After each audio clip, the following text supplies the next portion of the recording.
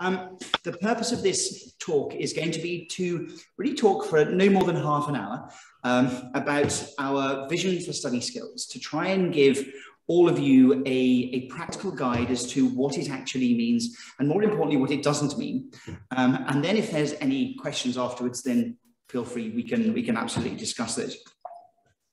Uh, in terms of, let me just make my, uh, in terms of this evening, I want to just look at two really important things that impact on study skills. And it's really the yin and yang. They do support each other really well. And the first is to understand how our brain processes information and things that can help that and see things that can hinder that, um, habits that we can form that help. And then the second thing is once we understand how our brains work, what is it that we can do as human beings through habit and through actions that give us the best chance of understanding and performing well in examinations, uh, for example. So those are the two things we're going to cover this evening. Before we start, um, uh, the parents that are here have these actually printed out for them as hard copies, but we have just sent you about 15 minutes ago. So if you'd like to check your emails, Mrs. Lawton has sent you two resources. Um, the first is a poster um, and that is something that we would invite you, um, particularly if you've got boys in lower figures, upper figures or rudiments, to actually pin uh, on their bedroom door somewhere, because it is something that we will refer to as teachers regularly in, for example, have uh, will have one of these. We're going through this mentoring program at the boarders. No more. Possibly. Could I invite you please to mute yourself, if you wouldn't mind? Makes it easier for everyone else to, to hear. Um, our boarders will be going through this programme uh, tomorrow evening um, and they'll be given one of these but I really would um, urge parents of boys in the upper school to print that out and, and leave it in your son's uh, bedroom or kitchen um, and secondly it's this book. Now, this book is a booklet we've produced for the boys, and it just gives a little bit of guidance to you as parents, um, a little bit of context as to what study skills is and the kind of habits we can form. But it also gives some practical guidance by way of planning activities that the boys can do in order to develop the skills. So um, I will refer during the course of this evening to both of these documents, and you'll see how they uh, how they take effect. Before we start, uh, I just wanted to um, give you a little bit of a task. Um, there's a number. It is, I think, a nine-digit number, and I'd like you to see if you can memorize that. Um, I imagine the lawyers amongst you are reaching for a pen and writing it down now. Please don't cheat, but see if you can memorize that number. Um, okay, I'm going to give a few more seconds, uh, and then we'll move on. So just three quick questions, and there's a reason for this. So um, if you're at home, you can discuss it amongst yourself, but our brain, uh, even my brain, creates enough energy to power something. Can you think what that might be? So every human brain creates enough energy to power a light bulb. In my case, I think it's a 15 watt. In some of the boys' cases, it's probably 100 watt. But all of our brains create enough energy. And that's a really interesting point to, to reflect on for a minute that our brains have an incredible capacity, an incredible sense of energy flowing through them. That needs feeding, it needs understanding. The second question is your brain represents just 2% of your body's weight, but what percentage of oxygen does it use? So if it's 2% of the body, it's actually 20% of the body's oxygen. So your son's living a healthy lifestyle, having a heart that pumps efficiently so that the brain can get the oxygen it needs when it needs, is actually really critical. So, an important part of study skills is actually leading a healthy lifestyle and making sure that when you need your heart to pump well, it can actually do that. And lastly, the brain is made up of how much It's actually made up of 70. Really, can I just listen to this meeting? It emphasizes the need to keep our brains and our minds hydrated. And that's something which boys typically aren't very good at. If you feel thirsty, you've left it too late because your body has already been dehydrated and you've already suffered the impact of that. So drinking regularly is very important. Anyway, moving on a lot of research has been done in the triggers and the factors that drive pupil achievement and particularly high achieving students. This research has been done across Canada, in America, in France, in Germany, in Australia, in India. It's been cross-cultural, it's been across languages. It is, these are habits that every single child who's growing up and being educated in the world experiences. And when they've done the research, what they found is that there are a number of factors which, when they come together, drive pupil achievement. Ironically, the first is one that doesn't, and that's IQ. So very often you might hear your son say, well, I'm not best at maths. I'm, I'm in the second set or I'm in the third set or I'm actually his potential to do well in an examination isn't driven by his natural IQ. It sounds incredibly counterintuitive, but when you see the results and the findings, it's very difficult to argue with. But what does, what are the tri triggers that will drive his ultimate success? Well, the ability to work hard, but not just working hard. I was a very good example at school of someone who revised incredibly hard for my examinations, but I didn't revise very efficiently. I spent a lot of time reading books, but none of it was going in, and the, and the mechanisms I used to revise were insufficient. So yes, I worked incredibly hard, but very inefficiently. So your son's progress and success is going to be built in part on the success of his study revision timetable. The fourth one, when I saw this, it was a bit of a hands to heaven moment thinking, ah, what a shame. But when you think about what it means, it's actually really important because the last thing we want to do at St. John's is spend terms and terms and weeks and months practicing examination questions with your son. We want to teach them new things. We want them to go on a voyage of discovery, not continually doing practice questions but when you look at it from a different perspective, that if your son is going to revise and he's going to spend time going over that information, then he's best to spend his time actually doing practical examples of examinations rather than doing what I was doing, which was reading lots of books and being inefficient. So an effective way of preparing for an examination is actually practicing examination questions because that's how you hone your skills. So in those three things, numbers two, number three, and number four, what does that look like at St. John's and how do we begin to build those skills? Well, the first thing to understand is that revision cannot be done on its own. It can only come after effective learning. If I've been taught something and I've forgotten it, I can't revise it. I've got to relearn it, and relearning is not revision. The word revision simply means to look at something, to see it again. So understanding that revision has to come on top of an effective learning program is really, really critical. And a lot of boys, a lot of children will, will have done it, forgotten it, and then try somehow to revise it. And that's when the trouble starts. So if you look at the poster that I've given you, it's, it's divided into four sections. And the first one is explaining to the boys how and why they have to create effective study habits. Because this forgetting curve is, is well established and well recognized in psychology.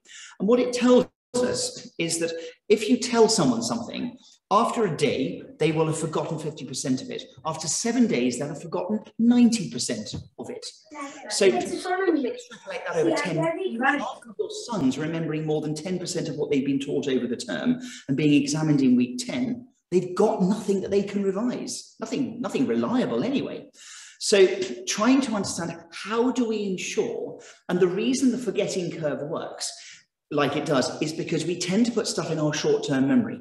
Some of you will have still remember that number I gave you at the beginning, but some of you will already have started to forget it. It's an example of short-term memory. You haven't linked it to anything, and therefore it's going to be forgotten. And that's how your son's learning works as well. So how do we take it from the short-term shelf and put it onto the long-term shelf? I know, and I will never forget my wedding anniversary because it's on my long-term shelf, but I will forget the name of my daughter's friend, for example, if I've only met her once. So there are things we do in life that prioritize and give us clues for memorying. And that's what we want to try and work on with your sons. So the reason for that then is creating a habit. And if we work on a weekly, on a weekly basis, and for example, the boys at the end of their week, move on to, um, actually, I'll come back to that in a minute, it'll make more sense. But then going on to how do we plan your son's time? And most pupils will come to the conversation terribly excited, thinking, right, I've got examinations, I'm going to do extremely well in these, these are my number one priority, and I'm going to spend three hours revising every day and Monday goes well, Tuesday gets a bit boring, and by Wednesday it's gone down to half an hour.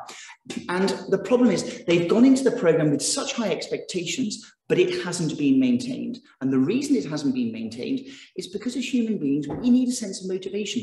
We need something in our lives that gives us that sense of impetus. So the first thing your sons must do in allocating their time is recognizing what makes them them, what re-energizes their batteries, what do they enjoy doing. And so making a list and saying, okay, what is important to me? And that conversation will very helpfully allow them to zone in on what, what, what isn't actually important to me. And they prioritize. So that's the first thing. And, and getting them to use this, uh, this table is actually, I think, a really helpful thing to do.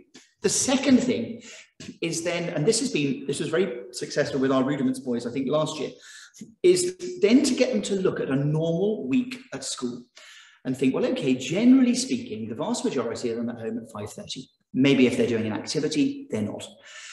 And then you start to say, well, okay, um, at 5.30, uh, I want to do my badminton. Uh, on At 7.30, I want to play on PlayStation and play Minecraft with my friends, so I'm going to put that in because that's important for me. By the time they've done that, there is always, always a half hour block. When they've had tea and they've, and they've told you about their day, there is invariably a half hour every night. But if you let the boys just whittle away the time, you, they, they lose it. So creating a habit, and what they can then do is say, right, that's my study period. That is when I'm going to work.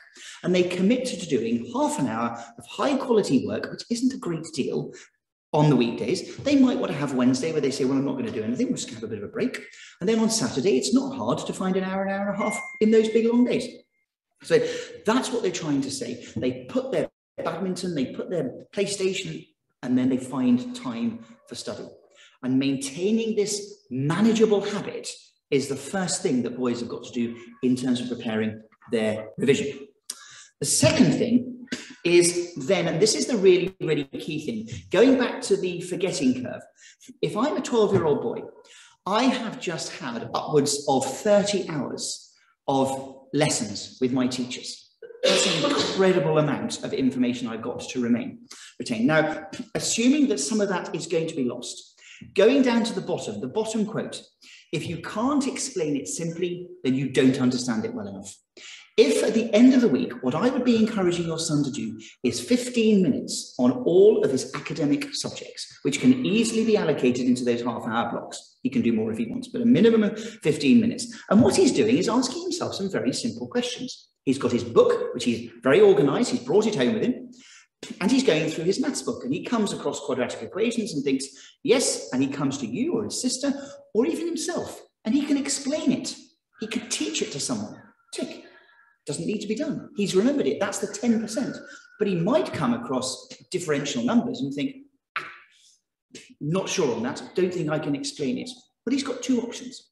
It might be one of those subjects where he thinks, well, if I go through it again in a book, I'm probably going to be able to understand this. And so he does. His revision activity is to self revise. If he does that and thinks, well, really haven't got a clue where I'm starting, that's the start of the conversation he has with his teachers. And in the upper school, we organize something called the formation time for the boys. And it is um, 40 minutes to an hour of time when the teachers are available to your sons but what we want to try and do is develop a habit where rather than your son going and saying, I don't understand differential numbers, and Mrs. Murphy saying, Well, I've got 15 boys here and I've got five minutes for you, but she hasn't got time to do that. But if your son can come with his revision planner and say, But I understand the first bit, it's this bit that I don't understand.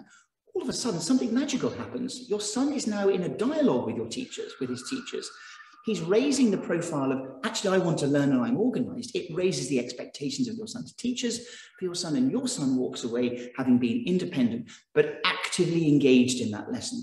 the chances now, if he goes home and practicing it, of that going on his long-term memory is very, very different. So when he comes back to it in eight weeks, there's a much greater chance that he has got something to revise rather than a big black blank in his in his uh, in his revision plan. Now, it seems an overwhelming amount, but what we're trying to do is for your son to ask maybe three questions per subject. Do I, do I understand fronted adverbials? Do I understand differential numbers or whatever it is? and then he can start this is part of a this is part of a bigger process and a bigger habit that is going to stand him in hugely good stead not simply for doing examinations but later in life when he's got deadlines and things he simply has to adjust to and it, it tends to be the teenager's habit to put it off. If we give the boys work on Monday and say it isn't in for Friday, what, what, they hear is, I don't have to do it till Thursday night. What they don't realise is that Thursday night in their, in their time, they haven't got time to do it on Thursday night. They've got to do it tonight. So it, revision isn't simply about preparing for an examination next week. It's actually about living your life in a, in a, in a methodical way so that when you get these highs and lows of, of work that comes in and out, you can manage it. So I think the, the upshot of this is that I think when you mention revision to most boys and some parents, what they think is my own experience two weeks before an examination, that's when I start revision. That's fatal. And it's simply not going to work because your brain can't hold on to the information you need to revise. So there needs to be mini revision at the end of every week, putting it onto your long-term shelf and then coming two or three weeks later in order to revise. Uh, the fourth aspect um, is uh, is a, an assignment planner. I'm not going to speak too much about that. That's pretty self-explanatory. That's if you're given a piece of work for a week's time. So just understanding a bit about our brain and how it works. Sleep is one of the most important things drivers for academic success and revision. Talk to any psychologist, any sleep scientist, they will, they will say this. And the reason is our brain is made up of billions and billions and billions of neurons. And those neurons join together, and the point at where they join is called a synapse. And that is where information is stored. When your son learns how to do quadratic equations, that's because synapses have gone, they've made a connection, and, and that information can travel from one part to the brain in a, in a, in a again. But also, your brain needs to give, have an opportunity for those synapses to settle down and for those memory links to be established. And if the brain can't have that regenerative cycle, then the chance of you remembering things is significantly less. And, and, and MRI scans of brains have, have, have taught us this. So having an, an important sleep pattern is critical. Uh, there's two things that help us go to sleep and go and, and wake up. Melatonin in our brain is made is made uh, at the back of the brain, and that sends us to sleep. Um, and uh, and cortisol wakes us up. Now, this is something that I think is really important for all parents to recognize. And again, there's been an awful lot of research on this. That blue light is really, really important for your son's sleep patterns because what blue light does in your kidney is it stimulates the, uh, the creation of cortisol. Now, cortisol is the chemical that, um, that is generated in your body when your body wants you to wake up. And, and, and when boys and girls go into adolescence, it's the making of cortisol and melatonin that goes out of sync. That's why they want to go to bed much later and get up much later. They're not being stroppy and difficult. It's simply that's how their brain and their kidney are making these, uh, these chemicals.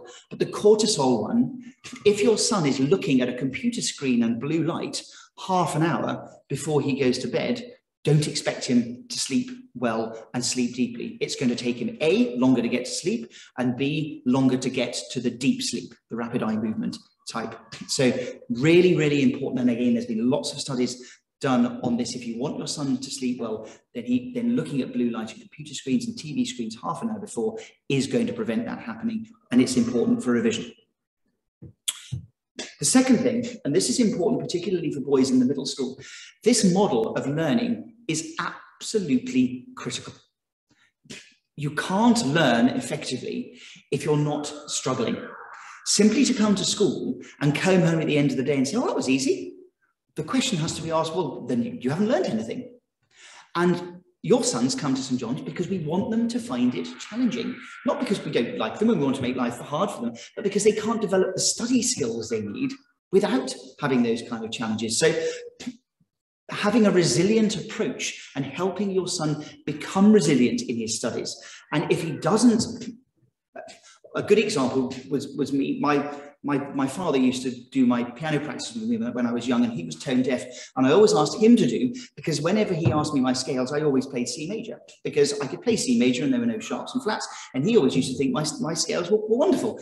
Until one day my mother came and did it with me and, and rumbled it, because I didn't want to play F sharp harmonic minor because I couldn't play it. And it was much easier to have an easier challenge. Your sons need to go through and face that kind of challenge where they recognize they find it hard, that is when their teachers are there to be able to develop that. So this whole um, mechanism of doing the study planner, then going and seeing your son's teachers, that's what drives their sense of motivation. So the fact that your son finds revision hard should be a good thing. But if he's leaving it to the end, there's very little that we can do. And learning from failure, doing poorly in an examination isn't in itself a complete disaster. But if that does happen, then we would expect a boy to be taking that and using that as his study planner for the next few weeks and having the ability to go to teachers. They'll go through the examination anyway, but going through if they don't understand it to make sure that when the next examination comes, right, he's he's confident because he's actively involved and some of that information has made its way to his long-term memory. It helps them cope with stress. Um, pressure is good. Stress, I don't think, is. And therefore, if your son is stressed by examinations, then please tell a teacher, please tell us, get him to come and talk to us about it, and we'll walk through um, with him learning preferences. Now, this, this surprised me because I think probably personally I'm more of a, a kinesthetic learner, so I'm, I'm, probably in the, in the minority. But your son understanding his preferred learning style is terribly, terribly important because he should then focus when he has done all of his mini learning and then he comes two weeks before the examination to do his revision, his remembering and putting together, the word remember simply means remember, to put together all of those bits. And that's what revision is supposed to be. When he comes to remember all of that, he needs to find a way of remembering it in a way that plays to his strengths. Um, now, if he's a visual learner, then something like mind maps are a brilliant idea because what they do is take a visual picture of that particular um, of that particular mind map, and they can see the stems coming off and, and the links to X, Y, and Z. And some boys work really well with with mind mapping uh, mind mapping software. Others are more auditory. A good way to revise auditory is on your laptop to record yourself speaking the notes and to listen to them in the car or when you're going to sleep or learning them as a poem or anything like that. And kinesthetic is actually getting a pen out and drawing. Now, I think a lot of boys have an element of kinesthetic learning in them. And just a word of warning, if your son, if you see your son revising by reading a book, please step in because that is that's proven on numerous occasions to be ineffectual. The problem is all it does is reinforce the, the short-term method. What he needs to do is find a way of understanding it or connecting it um, in, a, in a physical way. And very often writing out the notes again or drawing the mind map, that very nature of physically engaging, your hands and eyes moving in, in sync, are often enough to prove to provide the, the, the physical or the cerebral stimulation to remember it. So understanding, uh, and there are there are websites boys can go on to, and we do it with them um, sometimes as well. So they can find their preferred learning style, and then and then we can help them with that. So there are different ways, uh, and your son understanding his learning preference is very, very important. So mind mapping is, uh, is, is one way of doing that. Memory cards and sticky notes are another way of, uh, of memorizing it. These work well, but use as few words as you can on the, on the card. It doesn't help when there's 40 or 50 words. Boys simply don't remember it and then it just becomes a jumble. So seven to 10 words maximum and use different colors. Uh, very often writing in uh, different colors and alternate lines gives the boys a tracking process. Use highlighters for keywords. All of those kind of things are very, very um, important for things like definitions. or, or remembering essay plans. That's a really good way of remembering an essay plan. Um, and then finally, um, mnemonics and memorable images. So some of you might have remembered that, others might not. But if we were getting the boys, for example, to remember like that, then we tell them a story. The day was Tuesday, it was the second day of the week when Nicola walked to school. This was the first time she'd been allowed to do this. Her nine-year-old brother Hamish had been allowed to do this last year, but now that she, now that she was eight, it was her turn. On the way, she met her friend Eliza, who was a teenager, aged 13. They walked to school along the river, past the old baked bean factory. Baked beans boys tend to remember those words very easily, established 75 years ago by her great-grandfather Alfonso, who died recently, age 95. You remember the story much more than you remember disconnected words. Now, this can be done with numbers, it can be done with essay plans, it can be done with all sorts of things. Boys enjoy creating those stories and they remember the plan. It isn't a complete panacea because unless your son understands the importance of what he's got to put into that essay, then he's going to struggle anyway. But at least he remembers the order of the things that he's got to do as he raises them. Or it might be a mathematical equation and he's got to remember the order of that or whatever. Um, and things like that, the boys tend to remember uh, very well. Margaret Thatcher famously hardly ever read from a script, and what she would do before she gave a speech was walk into whatever room and she would attach you know, the education policy to the chair and the, and the, and the um, ambulances to something else. And then she'd give her speech that way. And but she was obviously a visual learner. If you're an auditory learner, then you've got to find a different mechanism for doing that. So there are lots of ways of remembering things, but the remembering doesn't work unless there's a level of understanding beforehand. Um, here are some revision books and online materials. We'll upload this um, tomorrow for all parents. So if you can't write these down now, please don't worry, we'll, we'll send them to you. But they are, they are ways of, um, of your son's becoming more independent. We will be revising with the boys for all of their examinations. A boy is never, ever given an examination at St John's without being prepared, both in terms of content and potentially how they might go about preparing for it, but in an age appropriate way. The way we would support the rudiments boys is quantifiably different to the way, for example, we would support the year three boys. But we're trying to take them through these developmental steps um, along the way. But as your son gets into upper figures and rudiments, it would be absolutely natural for him to want to take a little bit of responsibility for what he's doing um, and therefore say, right, I'm going to go and use the GoJimmy map or the Memrise map for his French. And that's absolutely fine. Encourage him uh, absolutely to do that. Um, practice exam papers, um, and I know these are these are easily accessible by all parents. Uh, could I just please um, uh, exercise, ask you to exercise caution in this because um, the examination papers that are available to you are exactly the same that are available to us as well. And it's hugely valuable for us to see how your sons do in a, in a mock paper. If you've done them all with your sons, it's very difficult for us to know what we need to go on, what, what he understands and what he doesn't, particularly if he's done it the week before.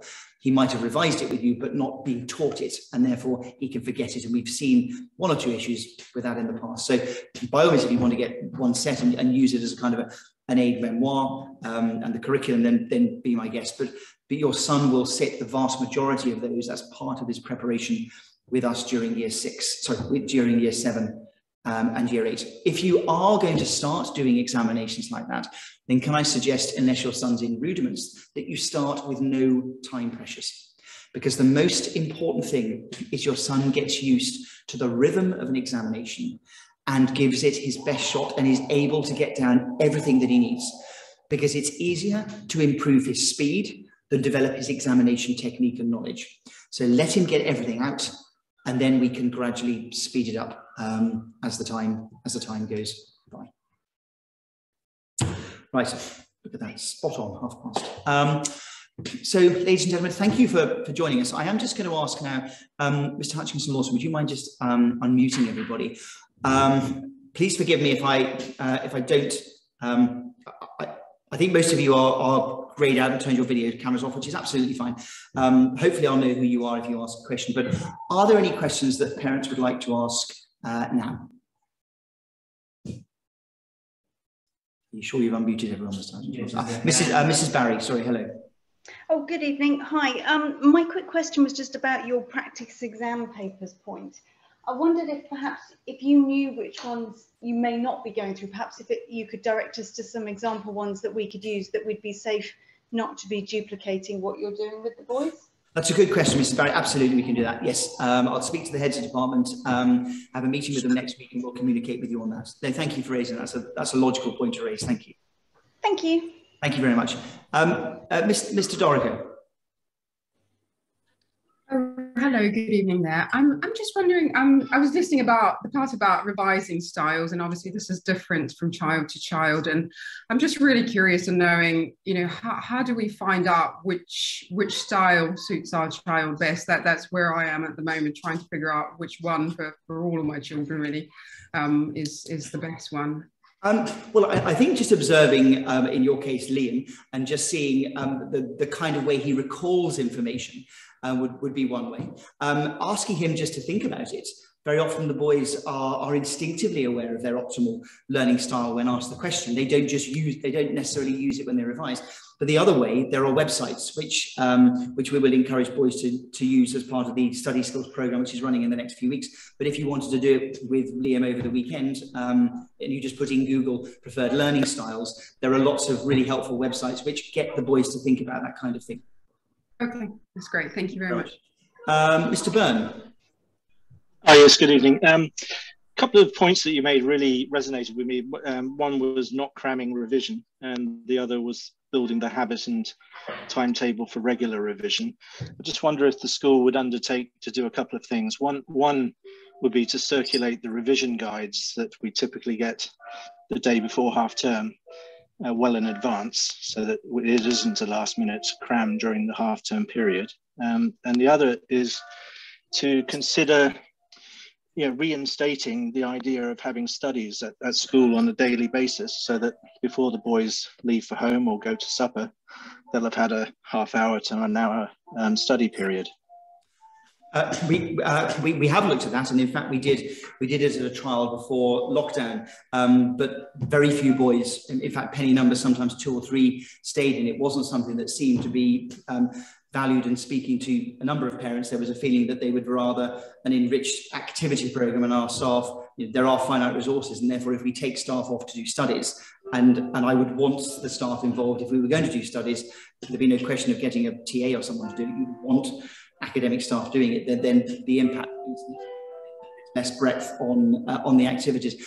But the point you raised, Mr. Byrne, is going to be an interesting one because uh, if you haven't already received a letter, you'll get a letter from me very shortly looking at focus groups for activities and after school programs. So that might be something um, that you want to raise through one of the people in that, and we can we can absolutely look at it. We're, we're open to it, not against it at all.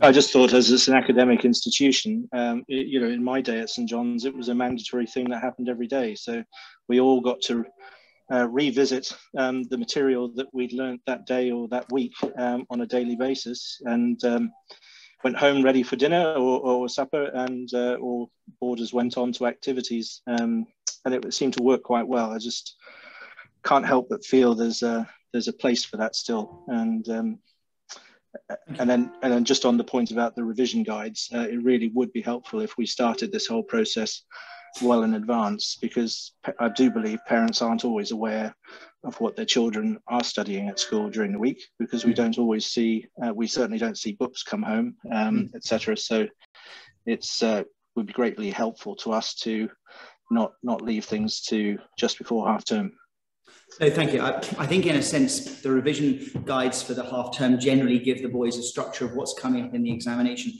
And we've no intention of doing that at the beginning of the term because that's what the boys will focus on and, and, and we'll rob them of a broader curriculum. So I think there's two things that need to happen hand in hand there and, um, and, and to ensure we're developing the boys' um, independence as well. Uh, but your point's taken and, and certainly sending it out a little bit earlier would, would be of value. I can see that. Thank you very much. Um, Mr. Gupta.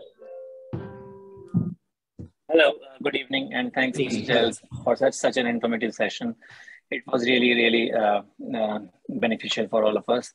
Uh, I was just wondering that this type of an informative session, would you be having it with with the boys as well? Uh, yes, we will. Um, our, our, boarders, because we're in loco parentis, we are doing something additional with them on Thursday. We're going through in particular detail this um, uh, this this poster and the and the booklet, but we have a company called Elevate who will come in professional um, study skills people to come and, and introduce and uh, and zone in on particular skills that the boys are age appropriate.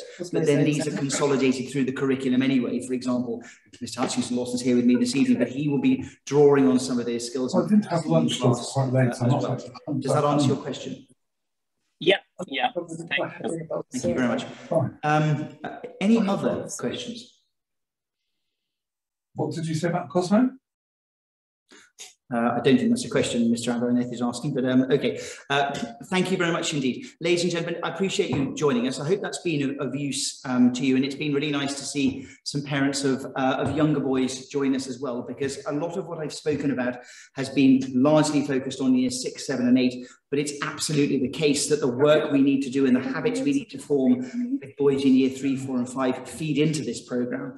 Uh, and, and Mr. Snell and his his team are acutely aware of that and trying to ensure that that's embedded in the things the boys are doing now uh, as well. So, um, Mr. Hutchinson Lawson, sorry. There's two questions from, uh, I think, Sarah's iPhone. Oh, sorry, um, Sarah's iPhone. I don't know which Sarah that would be. Excuse me. Oh, hi, it's Sarah Gunson. Oh, hello, Mr. Gunson. Hi. Um, I know this is mainly aimed at the boys um, in the upper years, but I was just wondering, um, are they going to do the CAT tests and what preparation you might do for that? Very good question. Thank you for asking it, Mr. Gunson. Um, the CAT test, the, the cognitive ability test scores, um, those have already been sat.